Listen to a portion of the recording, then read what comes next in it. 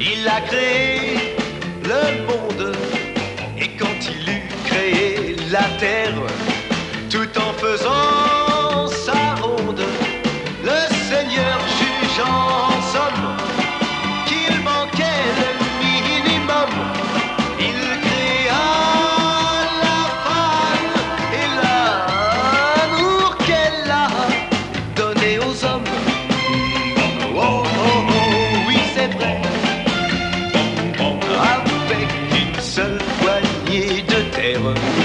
il a créé les lèvres et tête bras quand il me serre pour me donner la fièvre. Et je pense à chaque